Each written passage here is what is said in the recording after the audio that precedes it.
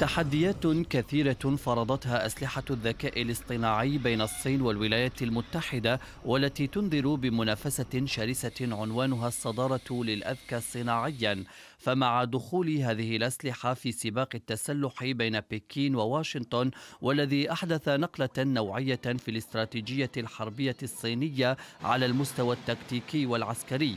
كشف تقرير صادر عن صحيفة الجارديان عن قلق أمريكي من أن تستخدم بكين هذه التقنية في السعي وراء السلطة لتحل محل الولايات المتحدة باعتبارها القوة العظمى للذكاء الاصطناعي في العالم من خلال أسلحة تقنية يمكن الاعتماد عليها في الحروب المستقبلية.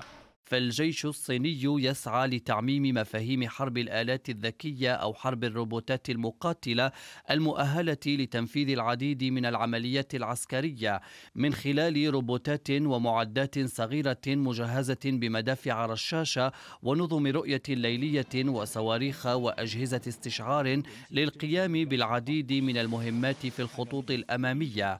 وفقا لمعظم المقاييس التي تعتمد عليها مؤسسة السياسة الخارجية الخارجية في واشنطن فإن احتمال وصول الصين إلى الذكاء الاصطناعي العام قبل الولايات المتحدة يبدو وكأنه تهديد وجودي للهيمنة الأمريكية. فتحركات الصين التي تسعى لتكون مركزا للابتكار في مجال أسلحة الذكاء الاصطناعي بحلول 2030 يمكن أن تؤدي إلى سباق تسلح جديد تغذيه الأجيال القادمة من التكنولوجيا. وسط مخاوف تتعلق بالخيارات السريعة التي تتخذها الأسلحة الذكية من دون تدخل بشري. لمتابعة المزيد من الأخبار والبرامج والقصص الإنسانية والوثائقيات والتقارير.